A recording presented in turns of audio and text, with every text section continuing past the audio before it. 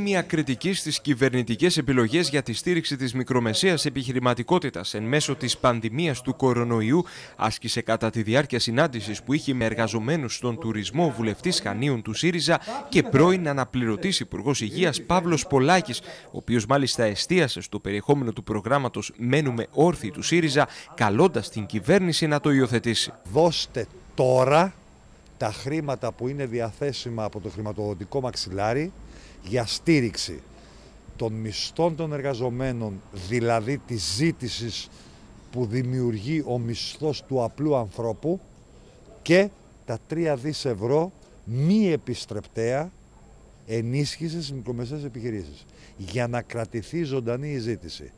Να μην πέσουμε σε ανεργίες πάλι του 25 και 30% που τότε θα μπούμε σε ένα ηφαισιακό σπιράλ που δεν θα έχει αναμαζωμό. Στις αναφορές του για το σκηνικό που έχει διαμορφωθεί σε τοπικό επίπεδο, ο Παύλος Πολάκης εξέφρασε το φόβο ότι η κρίση θα αγγίξει φέτος στο νησί της Κρήτης από τη στιγμή που η ονή για την πορεία του τουρισμού δεν είναι θετική, ενώ τόνισε ότι η κυβέρνηση θα πρέπει να στηρίξει εμπράκτος τους εργαζομένους. Λόγω της πανδημίας του κορονοϊού, είναι ζήτημα αν από αυτά τα 26-27 δις ευρώ που μπήκαν πέρυσι στη χώρα μας θα έχουμε μια εισρωή της τάξης των 5 με 6 δις ευρώ. Είναι ζήτημα αν το έχουμε αυτό.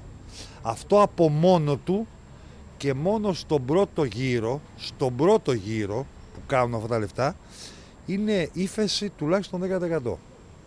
Άρα, αναδεικνύεται η αναγκαιότητα της εφαρμογής της πρότασης που κάνει ο ΣΥΡΙΖΑ στην ανοιχτή συζήτηση που είχε στο Εργατικό Κέντρο των Χανίων με εργαζομένους του τουρισμού, ο Παύλος Πολάκης αναφέρθηκε και στο Εθνικό Σύστημα Υγείας δηλώνοντας ότι οι προσλήψεις προσωπικού αποτελούν πλέον επιτακτική ανάγκη για να μπορέσει, όπως τόνισε, να ανασάνει ο κλάδος και να θωρακιστεί από τις αυξημένες ανάγκες που πιθανότατα προκύψουν. Δεν χρειαζόμαστε συμπράξεις δημόσιο και τομέα.